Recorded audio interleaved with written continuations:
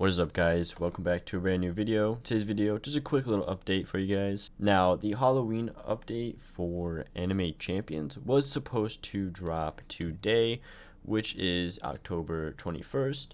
Unfortunately, Roblox uh, crashed for quite a while, and yeah, um, it's not dropping uh, today, which is a little bit unfortunate, but they did say they are going to extend the event, which is very nice of them, and you know, probably get some good codes out of it as well.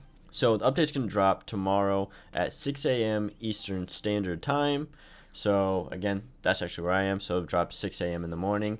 Again, still a little bit disappointed, but we'll make do. Here is also the Discord. Uh, you can go on the game page and join the Discord, so you can find all the different you know updates that they have for the game might have seen that Roblox is down again due to server instability. We unfortunately can't finish the update or release it, so we decided to delay the update until tomorrow at 6 a.m. Eastern Standard Time. We'll be extending the weekend event to make it up to you guys.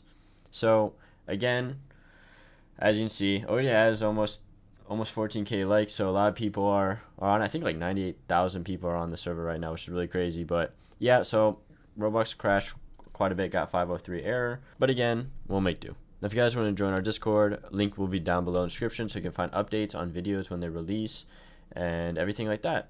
Find this helpful, make sure to like button and subscribe if you guys new to the channel and comment down below what you're most excited for about the Halloween update or what you're looking what what you hope is in the Halloween update. And yes, Clout Brothers, we'll catch you guys in the next one.